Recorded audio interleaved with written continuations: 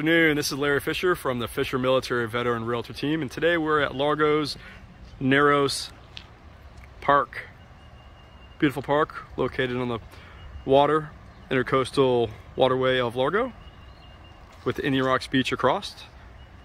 So the Narrows Park offers a number of things to visit with the kids. There's a bird sanctuary that have multiple birds and animals on exhibit a real cool little turtle pond here with hundreds of turtles. Just a fun place to take the kids. There also is a real nice playground with zip cords, an intercoastal overlook. So let me get going and show you the rest of the park. It has their own bald eagle, multiple varieties, species of hawks, Eagles talking for us. There we go, just amazing. A lot of times they'll put them on exhibit on the perch. Different vultures, owls, hawks, and falcons. Here we have two red-tailed hawks. Their names are Rogue and Dakota. Two female red-tailed hawks.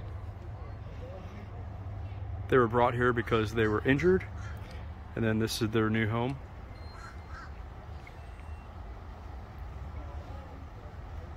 The park features many walking trails.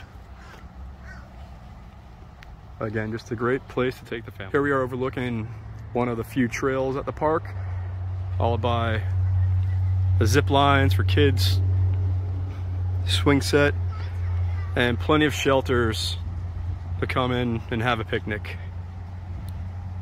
Here we are the, at the pier. Over there is the Belleair Causeway. This is the Intercoastal Way. Hopefully today we can see a couple fish in the water.